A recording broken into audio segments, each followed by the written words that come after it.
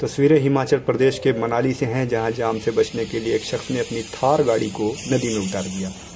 जोखिम भरे सफ़र को उसने तय तो कर लिया, पर वो पुलिस की नज़र में आ गया और उसके बाद उसका चालान काट दिया गया। सवाल यह है कि लोग इतने उतावले क्यों हो गए हैं कि वक्त से ज़्यादा कीमत उनके नज़दीक किसी चीज़ की नहीं रही? कहते हैं, जल्दी का काम शैतान का। जल्दबाजी में बहुत से अच्छे काम भी बिगड़ जाते हैं, इसलिए कहीं भी रहें, अपनी जान को सबसे ऊपर रखें।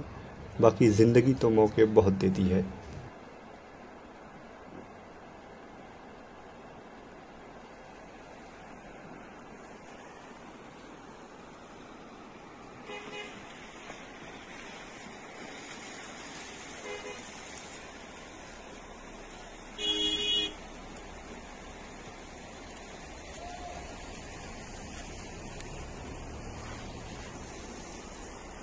सेफ़ फुट ले लिया ना?